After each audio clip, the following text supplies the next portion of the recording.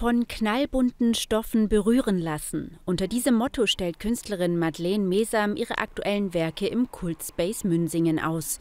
Auf den bunten Stoffbahnen lässt sie dabei abstrakte oder auch gegenständliche Abbildungen entstehen, die sowohl der Realität als auch der Fantasie entsprungen sein könnten. Im Kultspace möchte sie ihre Werke erfahrbar machen. Die Besucher sollen sich von den Stoffen berühren lassen, so die Künstlerin. Zu sehen sind die Werke noch einmal am 13. November von 13 bis 18 Uhr.